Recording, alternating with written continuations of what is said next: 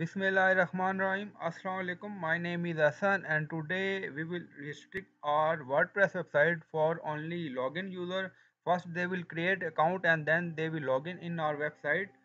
So before starting work it's my request please subscribe my channel. Thank you. Now back to our work. So first we will check website. So this is website and accessible by everyone. So now we will restrict this through plugin so go back to dashboard and in plugins so click on add new. So in search plugin write ultimate members.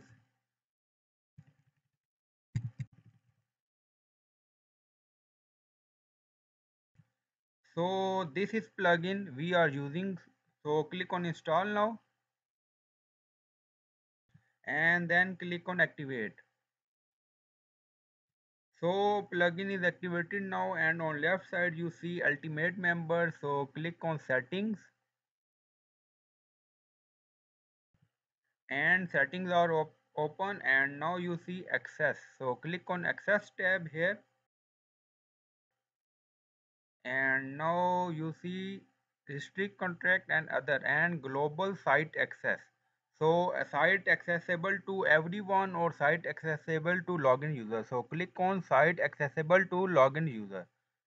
And now you can add your custom redirect url here.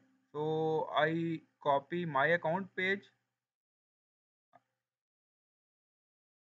Copy and i added this link here. So when someone access my website so redirect to my account page. So where they log in or create account. So you can add your url here.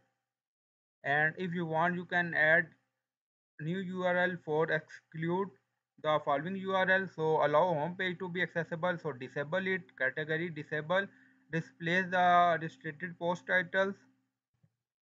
So disable it click on save changes.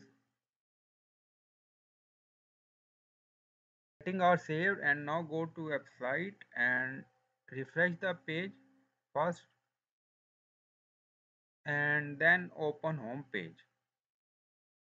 So now you see home page is also redirected to my account page. Now open about page.